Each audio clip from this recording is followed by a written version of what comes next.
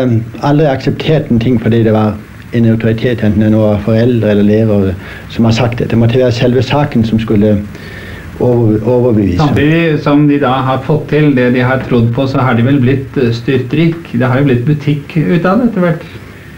Vel, eh, eh, jeg arbeider ikke i dag akkurat for å tjene daglig brød.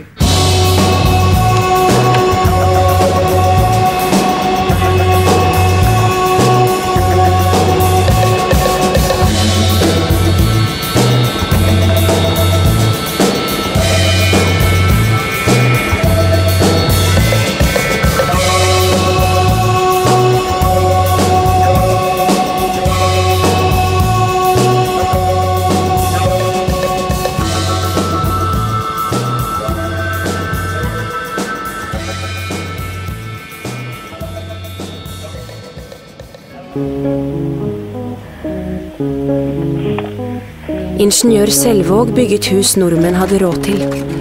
Men drømmehjemmet var ikke komplett før vi fikk fylt det med inventar. Inventar er ting nordmenn drar med seg hjem for å bo bedre.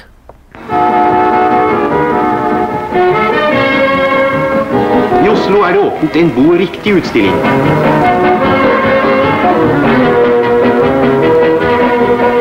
Arrangørene har villet gi både dem som har et hjem, og de som står i ferd med å stifte et, noen rettledende impulser med hensyn til møbeltyper og plassering av inventaret.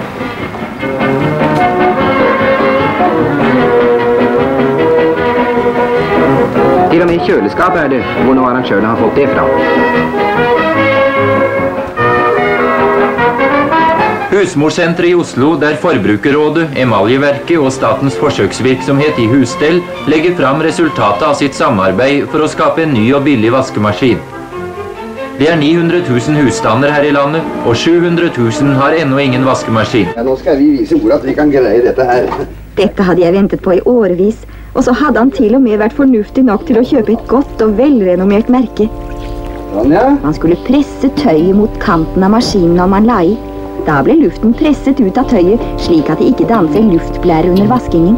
Nå arbeider maskinen med seks kilo tøy. Tre kilo blir effektivt vasket. Tre kilo grundig skyllet og tørret. Og alt sammen tar bare fire minutter. Assistent maler én kilo kjøtt på to minutter, og en hel gris på noen timer om de vil.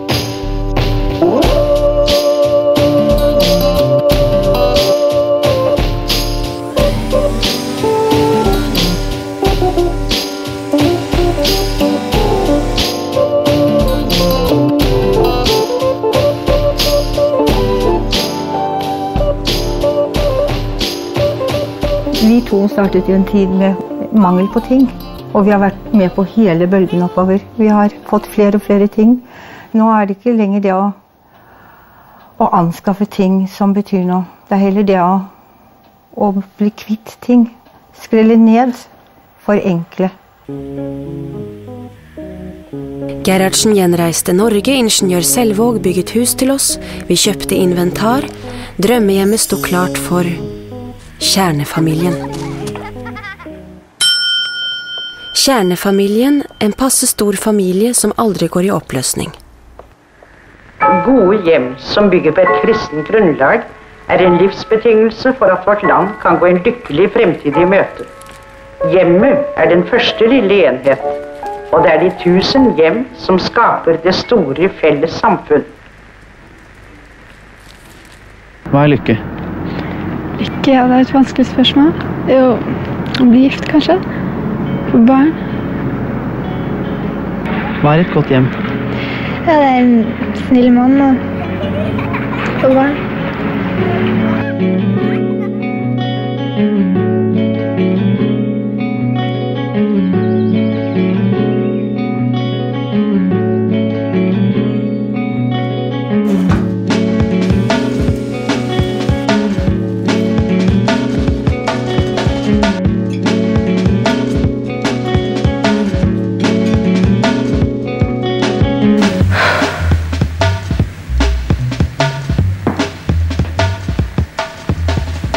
Vil du tørke opp for meg, Petter?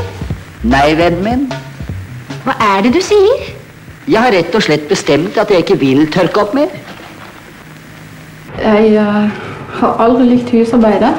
Da jeg giftet meg for to og et halvt år siden, så syntes jeg det var veldig vanskelig å gå opp i den rollen, eller den konerollen som da jeg følte ble krevet av meg. Da har det blitt klart for meg at det var noe som var galt, og jeg skammer meg fryktelig. For jeg tenkte at jeg har friske barn, jeg er frisk selv, og det er fred i landet, og vi har mat nok og alt det der. Familien er tema for denne utgaven av Antenne 10. Er vi kommet til et punkt der tempoet og kravet til velstand, karriere og likestilling er blitt så høyt at barna rett og slett blir valgt bort? Har dere mange steder å leke her ute? Nei, ikke så veldig. Vi har der, og så har vi der. Og så bak tre, tre blokk der. Hvor høyt bor du i blokken? I åttende etasje i kroken. Kan du ta heisen alene? Ja. Få lov til det, altså. Disse bildene har vi hentet fra en tilfeldig valgt by, hvor de unge har lite eller ingenting å foreta seg. Hva gjør dere nå for tiden, altså når det ikke er noe spesielt? Det blir altså mest å drive rundt i byen, og da på, samles vi her på Rutebystasjonen som oftest. Kjernefamilien fikk et hjem, moderne inventar og et overskudd av tid. Den tiden kunne vi tilbringe foran fjernsynet.